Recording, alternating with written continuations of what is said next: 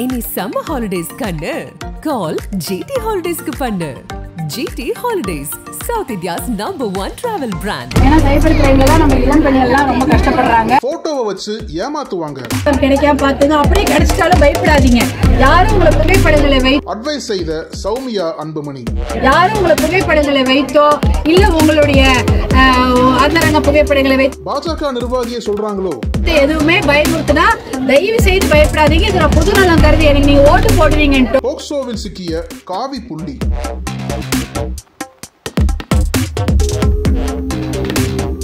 கிளிக்கும் இணையவாசிகள்.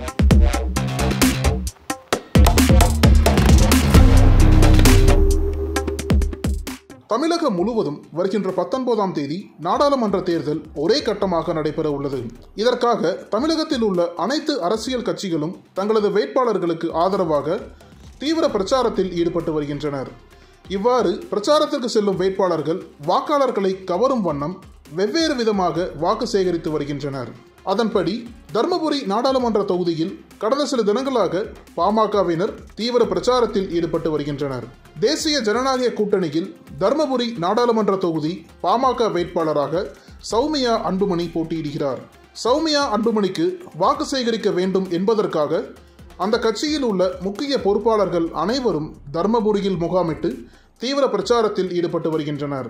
அது மட்டுமல்லாமல் அன்புமணி ராமதாஸ் சௌமியா தம்பதியினரின் மகள்களான சங்கமித்ரா சஞ்சுத்ரா ஆகிய இருவரும் தீவிர பிரச்சாரத்தில் இறங்கியுள்ளனர்.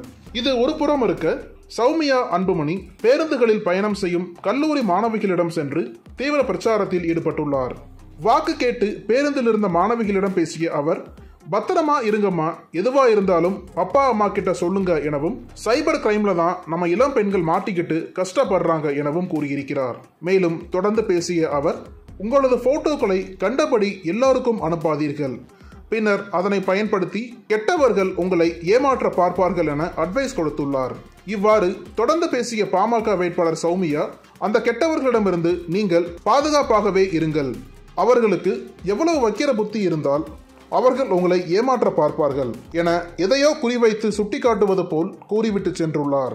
அப்போது அந்த பேருந்தில் பயணம் செய்த மாணவிகள் சிலர் அவருடன் செல்ஃபி எடுத்துக்கொண்டனர் அதன் பின்னர் பாமக வேட்பாளர் சௌமியா பேசும் வீடியோவை சமூக வலைதளத்தில் பதிவிட்டுள்ளனர்.